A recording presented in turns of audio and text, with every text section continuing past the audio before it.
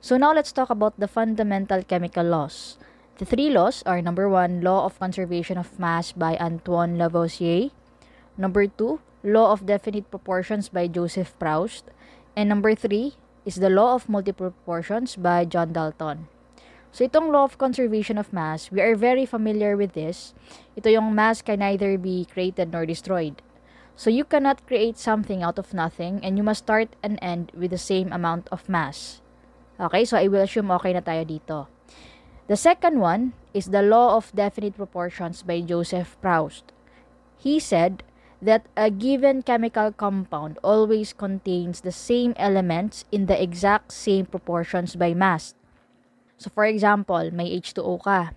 So for hydrogen, you have two atoms and for oxygen, you have one atom. Meaning to say, in any sample of water, 2 is to 1 yung ratio ni hydrogen atoms to oxygen atoms.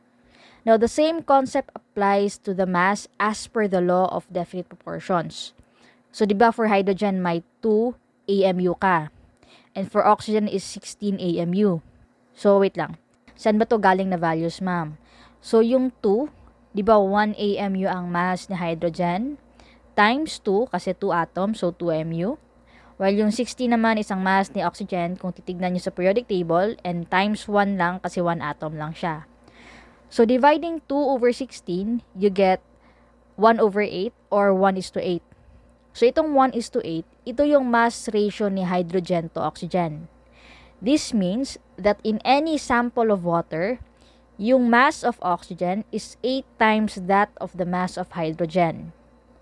Or another way of saying it is that in any sample of water, it contains 11.11% hydrogen and 88.89% oxygen by mass. The last one is the law of multiple proportions by John Dalton.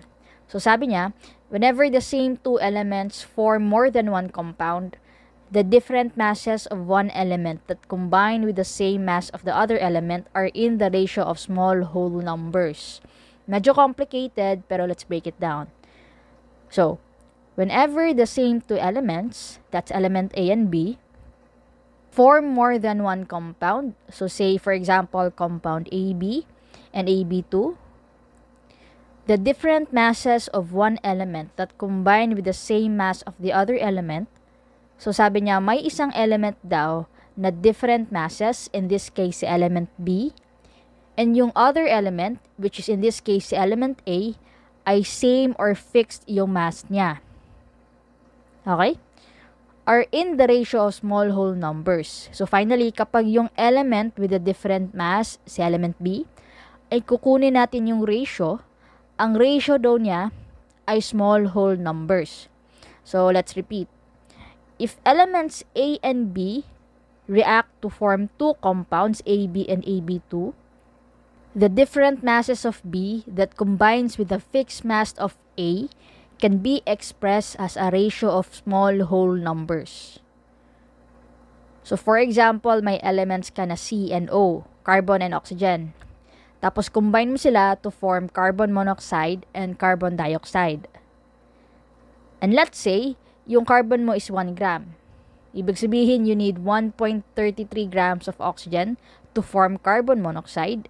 And on the other hand, you need 2.66 grams of oxygen to form carbon dioxide. So, itong mga values na to, these are computed values ha. So, yung solutions niya is ito. So, next is, if you are to take the ratio of 2.66 and 1.33, yung ratio na makukuha mo is 2, which is a small whole number.